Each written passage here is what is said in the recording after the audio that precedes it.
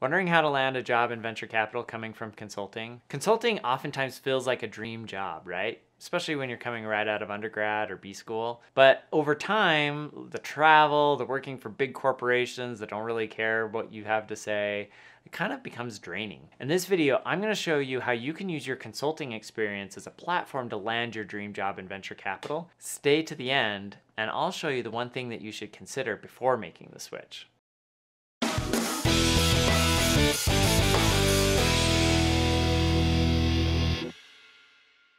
Okay, so first of all, you should feel really confident leveraging your background as a management consultant, especially if you're coming from like a top five or top 10 program or company and transitioning into venture capital. Management consultants make some of the best venture capitalists. You look at people like Jeremy Liew at Lightspeed, and he was an early investor in a firm, Snapchat, The Honest Company, bunch of fantastic investments. And largely, I think because he was able to leverage his time at McKinsey and his time working at some startups and more strategy roles to be able to identify different trends and businesses and market opportunities, as well as like business strategies that really work and have the potential to become really big businesses. If you think about it at its core, like business strategy really only gets applied in three industries or three career fields management consulting, it's corporate development, and venture capital. And so as a strategy consultant, right, like you've got a lot of that experience, that know-how, those frameworks that can be really valuable. The other thing is that as a management consultant, you're probably similar to me in that you're very intellectually curious. You love learning and learning quickly is a real skill that you've developed in your career. And that's incredibly valuable as a venture capitalist. It's one of the things that I love, but it's also one of those attributes that's super helpful because you're constantly meeting new companies, meeting new people, evaluating new business models, new technologies, and it forces you to get these learning curves incredibly quickly. And there is no plateau, right? Like today, I've been doing venture capital for like 14 plus years, and every day I feel like I learn something, something super new and exciting, which is what I love about this industry. Lastly, a lot of consultants bring a lot of experience doing due diligence for private equity funds and venture funds already, so you kind of get the day to day in a lot of ways. And oftentimes you've got some real industry expertise, especially if you started, you know, honing in on different industries doing and different projects uh, during your time working in consulting.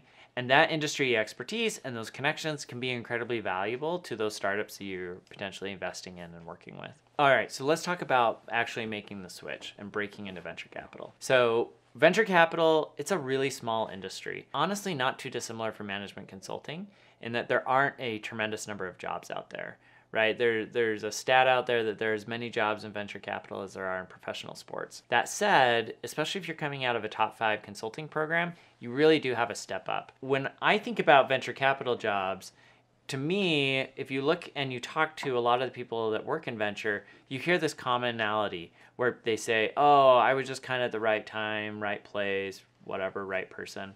And I think that's really true. You really need to be kind of right place, right person, right time.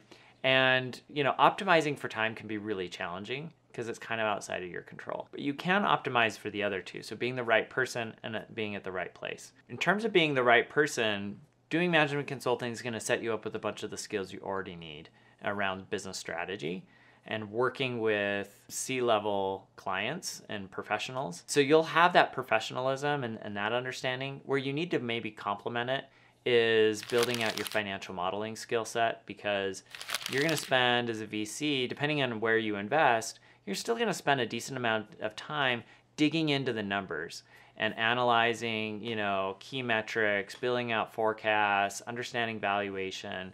And if you don't have that background already, getting it can be really helpful. Now, fortunately, there's a ton of courses, classes, and resources out there, but it's just something to be thoughtful about. The other thing is that you really want to start expanding your network into more the entrepreneurial set. You've probably, as a management consultant, focused most of your network on large corporations. But now, if you want to make the transition to VC, you need to kind of move uh, earlier stage to those startups and start going to events, meeting with entrepreneurs, talking to VCs, and start building those networks. Now, fortunately, again, if you come from a good background in terms of working at a, at a top tier management consulting firm, that alone is probably going to open a lot of doors because people like talking to smart people and networking with them. So leverage that to um, to your best advantage. Now, let's talk about being at the right place. So for me, what that means is you are you know and you are known by the right people so that when the opportunity arises, you're the one they think of. So how do you do that? Well, one, leverage recruiters. So you'd be surprised like a lot of a lot of firms will hire recruiters to go out and identify good talent. So identify who are the recruiters in the industry where you want to work. And by industry I mean you know, if you want to do life sciences venture capital, find the recruiters that specialize in finding talent for that industry. If you want to do enterprise SaaS, there are recruiters for that. Network with them, get on their radar, and they'll tell you in many cases, they can tell you in many cases, hey, these are the firms that are currently hiring and help make you those connections. Maybe you want to work for a smaller firm and they're not going to necessarily hire a recruiter they're going to tap into their own networks. So in that case, you want to actually network your way into those those companies and those firms. I would recommend finding investors in the fund. That can be an incredible intro, warm intro, and also talking to companies in their portfolio and getting intros that way. Those can be really powerful because the venture capitalist respects their opinion to a very high degree, which lends their credibility to you uh, when they make that intro. All right, and then the last one, let's just talk about right time. Here's the punchline on right time. The right time for a venture fund is whenever they've got uh, excess cash to hire somebody. So that's going to be when they just close a new fund. Uh, right? Hopefully, they raised a slightly larger fund than the one before, so they've got a little bit of extra cash that they can spend on hires or somebody has left the firm. Oftentimes, if it, the timing's not quite right because neither of those things have happened, there might be other ways that you could leverage your way into getting your foot in the door. So one of those is like joining a scouts program where you are out there hunting for deals. And that's a way to get in front of them, start adding value to the relationship, even though it's off cycle. And then if you do a good job with that, you're sourcing lots of good stuff and they, they see you as somebody that they enjoy working with when they close their next fund or a new uh, opportunity arises, you can step into that role. So, where do consultants really fail when it comes to venture capital? Well, from my perspective, they fail in two ways. They're really good at understanding strategy. They tend to be, you know, whether it's true or not, the perception is they're not as good on finance. And so, if you really want to work at like growth equity stage venture capital, you're going to have a, a little bit of an uphill battle competing with uh, people coming out of investment banks because there's this perception that people out of investment banks have more experience and around finance. The other area where management consultants struggle a little bit, there's this like little bit of arrogance, frankly, around sales, right? And look, I get it. You did management consulting because you didn't want to go into sales, right? That's what a lot of people go into a whole bunch of careers that are not sales. But if you're being honest with yourself, the pinnacle of pretty much every profession is just sales. And in venture capital, that's really true if you want to drive a ton of value.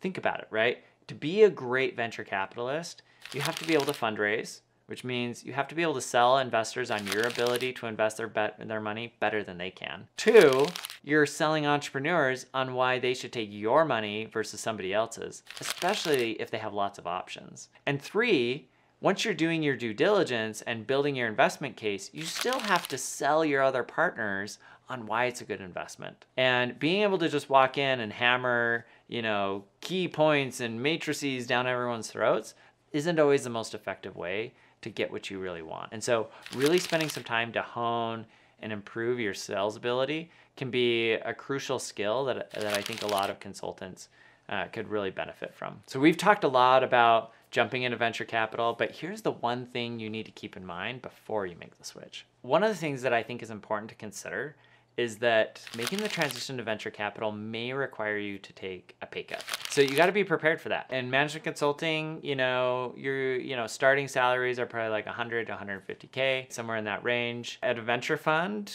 going from joining as like an analyst or associate, in some cases the pay range ranges from like 80 to 130k. So you might actually have to take a pay cut. Now there are larger funds that will pay even more, up in the like 2 250 range, but it's just something you should be prepared for. The flip side is you don't have to travel as much. You don't have to work with, you know, big clients that don't care about you. The lifestyle is arguably a lot better as a venture capitalist and, and fewer hours generally. Not a lot fewer, but a little bit fewer. So there there are some positive trade-offs. Plus the other thing is that if you do a good job, it can really set you up, especially if you can work your way into a partner track position. And that's where ultimately like the real money is made in venture capital is at the partner level. You know, maybe it's a short time short-term pay cut, but ultimately allows you to accelerate your your career faster. Thanks for joining us today. Hope that was helpful. If you want to learn more about this stuff, check out my next video on how to break into venture capital.